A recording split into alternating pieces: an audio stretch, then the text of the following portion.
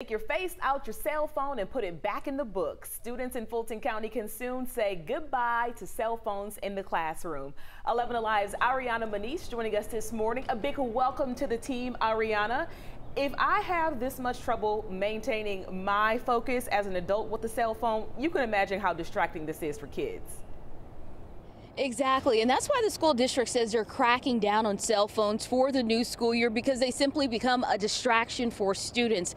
Now take a look at your screen. This is the new code of conduct for the next school year. Now for elementary school students, personal devices are not allowed in the classroom during school hours.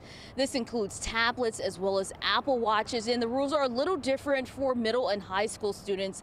They are also not allowed to use their cell phone during school hours unless instructed by a teacher. Now, if a student violates this new policy, they could face up to five days of out of school suspension before under the current policy, students only face up to five days of in school suspension, according to the district. Back to you. All right, Ariana, thank you. I know those kids are cringing. Chesley, who's exactly. going to regulate us as adults? Uh,